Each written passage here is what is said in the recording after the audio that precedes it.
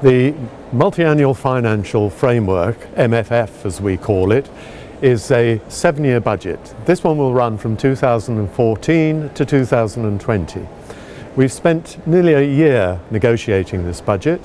Uh, the budget which we've now agreed is something which we approve of. It's realistic in terms of size of budget. It is 960 billion euros of commitments and 908 billion euros of payments. Uh, that is a real terms reduction on the size of the budget from the one we've had before and in fact it's the first ever reduction in the size of the EU budget.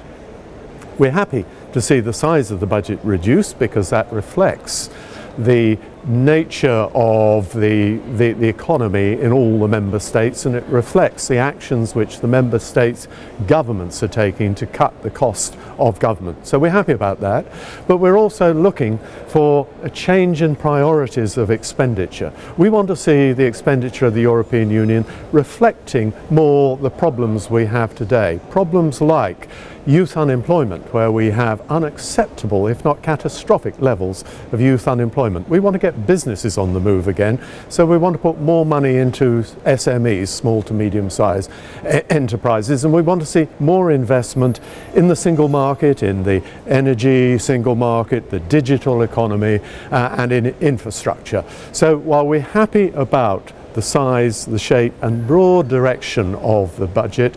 It's now all about delivery and we in the ECR will be looking very hard to see that the delivery of the budget actually is effective, it's appropriate, it's proportionate and it delivers results.